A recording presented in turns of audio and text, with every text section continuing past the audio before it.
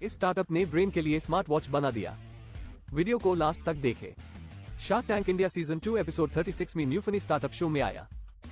न्यूफनी ने एक ऐसा डिवाइस बनाया है जिसके हेल्प से यूज़र्स अपना स्ट्रेस, फोकस और अटेंशन मेजर कर सकते हैं। और इन्हें इम्प्रूव करने के लिए ये डिवाइस मेडिटेशन और ब्रीदिंग एक्सरसाइजेज रिकमेंड करती है। इस डिवाइस की कॉस्ट फोर्टी एट थाउज़ेंड रुपए है और इसकी एक्यूरेसी 98 परसेंट है। अमन और पीयूष ने ये डील वन करोड़ रुपए में 5.4 परसेंट इक्विटी पे क्लोज की।